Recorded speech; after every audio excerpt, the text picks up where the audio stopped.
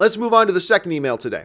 And the second email today comes to us from Ben Whittaker, who writes Bryan Singer is a little bit of a hit and miss director for me, but in general, I like him because of films like The Usual Suspects, X Men 2, Valkyrie, and the upcoming Bohemian Rhapsody.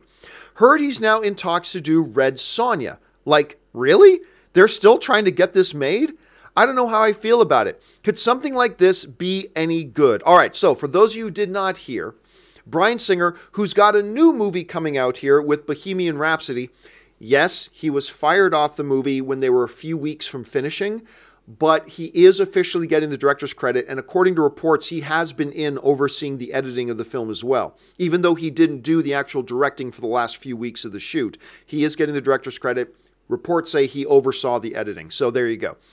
But they're saying that he is in talks to do a Red Sonja film. Now, a lot of you guys remember Red Sonja from that great 1980s film with Arnold Schwarzenegger and Brigitte Nielsen, Red Sonja. I'm not going to lie to you guys, that's kind of a guilty pleasure of mine. I get a real kick out of that movie. I still get a kick out of it. I can go back and watch Red Sonja. It's horribly cheesy, for sure, but I still get a massive kick out of it. Now, I believe the Red Sonja character was like created originally like the, the late 1930s, early 1940s or something like that. She made her comic debut in the 1970s with a Conan the Barbarian comic book. Uh, and by the way, even though Arnold Schwarzenegger, if you've never seen Red Sonja, even though Arnold Schwarzenegger is in that, and it's very much a Conan the Bar- Barbarian type of film, it's he doesn't play Conan in that film. But anyway, now back a few years ago, I believe it was like 2008, there was this big announcement made at Comic Con that Alita Battle Angel director Robert Rodriguez was going to do a Red Sonja film with his girlfriend at the time, Rose McGowan. And they even came out at Comic Con with artwork for the movie, what would be a you know mock makeup of what the the uh, uh, poster would look like, and all this kind of stuff. Unfortunately for Robert Rodriguez and Rose McGowan in the studio at the time, the response was not fantastic. I think some people kind of thought it was a little bit sticky that Rodriguez would be doing it and he was casting his own girlfriend to be the lead in it.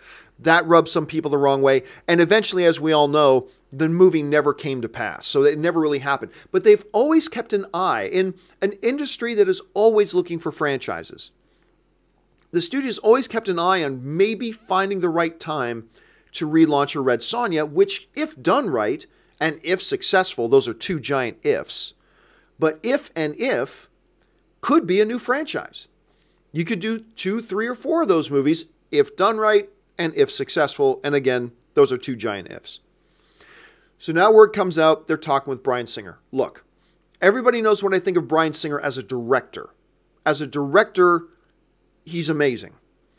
Um, X Men, X Men 2. I mean, Bryan Singer is pretty much responsible for there being a new age of comic book movies. I mean, it was X Men you listen to the Batman producer, like the, the Dark Knight producers, and you listen to all those guys. When Hollywood executives talk about when they knew that comic book movies could have a new era and it was a new age for comic book movies, and these movies can be done critically well received, audience well received, and make money, it was that first X Men movie. That was the movie that did it for them. That's the movie for them that made a lot of them go, okay, we can move on these comic book movie projects now. It wasn't Blade and I love Blade. But it was the X Men film. You just listen to the producers. They talk about that was the moment that they realized we could move forward with these things.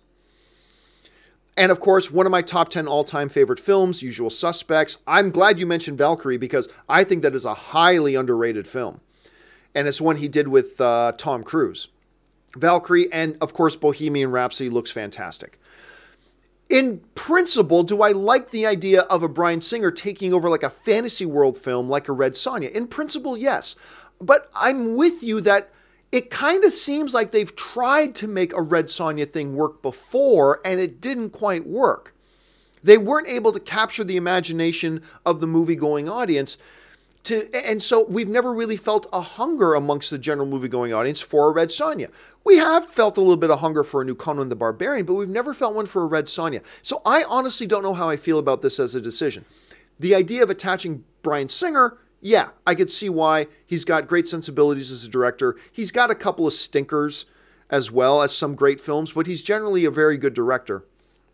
But is it really the right time for a Red Sonja? I'm not sure. I'm not sure. Uh, again, like I said, the studios are all looking for franchises. Sonja does present an opportunity to establish a new franchise. But there's so many question marks surrounding that. It's been so long.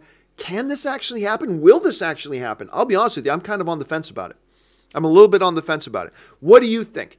Two separate questions. Number one, what do you think about them trying to relaunch a Red Sonja? Do you like that idea in general? Now, whether you do or don't, then what do you think about attaching a director like a Bryan Singer with something like Bohemian Rhapsody coming out? Do you like that idea? Do you not? Jump down in the comment section. I want to hear you guys say, think because, like I said, I'm a little bit on the fence about this whole thing. All right, let's move on now to the third emailed in.